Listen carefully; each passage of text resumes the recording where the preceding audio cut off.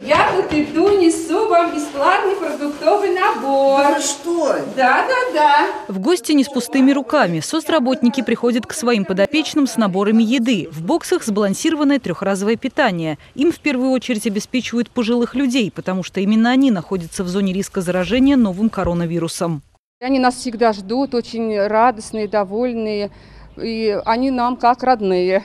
Посещают пожилых людей и волонтеры, соблюдая все нормы безопасности. Носят перчатки и маски, в квартиру не проходят, при общении соблюдают дистанцию.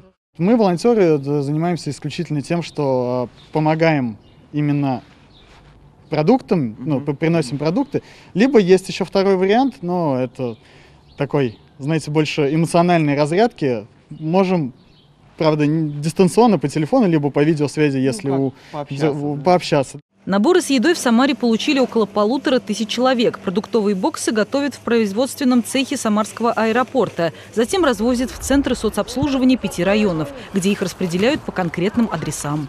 Мы получили около 500 а, блюд бесплатного трехразового питания. Это завтраки, обеды и ужины.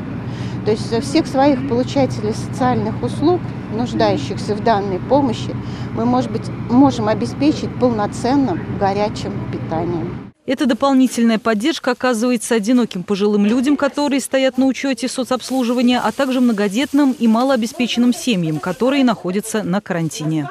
Лариса Шлафаст. События.